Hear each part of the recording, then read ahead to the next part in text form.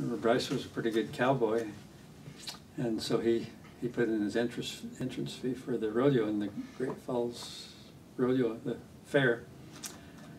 And I think he was riding bareback, but anyway, he, we kept anticipating, we were sitting in the grandstand waiting for him to come out, and pretty quick it was announced, Bryce E. Blackburn, on whatever horse it was, and the horse come out and made two big jumps, and pretty quick Bryce was standing up straight up, almost with his feet on top of the horse and still holding on to the rein, you know, the rope. And then, uh, so after two jumps, Bryce was up like that and then just went off the horse really quick. So he said, "Well, that does it for me." He was joking about it. Yeah. That Wasn't was- hurt though. No, although he landed on, probably on his feet. You remember You- Fergus Mitchell, the Ayrshire Dairy? No, Mitchell in there in Great Falls? I remember the Ayrshire Dairy, but I don't remember. Yeah, Fergus, he's a school friend of mine, or, or well, I knew him in high school uh, that one year, and uh, went down. And I'd like to sneak in and like be on the rodeo chutes and all that. And Mm-hmm. I got in there one time, and I'd, I'd already signed up for an exhibition ride if the cowboy don't show up. Oh, really? they, they have those up for grab, and you pay 'em five dollars. No, you don't get paid anything, just for exhibition. This was for horse or bull. uh, horse and bull, a regular rodeo.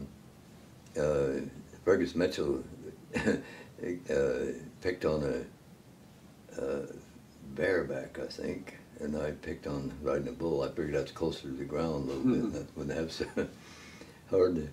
But anyway, he got rode his horse or tried to, and I was up on the chute, and I took I had new steps, and then I said, "Hey, Fergie, you want to?" Borrow my hat. Oh, I sure like to borrow land. And so I put it on his head, and about that time the uh, the chute, and away he went, and about two jumps, and he was a handful of dirt. and pretty quick they called my name, and I got to ride a bull, and I thought, oh, this is going to be an easy deal. no way. about one jump, and I was on the ground. I mean, that, I was no cowboy. Did you have your hat back? Oh yeah, yeah. It was all it squashed and had the soil on it, and amongst other things. But Did you guys Yeah. have to break any horses? Oh your- yeah. oh yeah, We had a lot of rodeos out in our trail. So you were cowboys. oh yeah. We Yeah, we did a lot didn't of. stay on the rodeo things. We did a lot of breaking horses and riding our cattle. Yeah, when the folks would go to town, Dad didn't like us to do that much because the- he wanted to put weight on the cattle and sell them and make money. He didn't want us mm-hmm. chasing them around and riding them and stuff. So usually it's when they went to town. yeah we But- put uh, put on a rodeo. We had regular rodeos.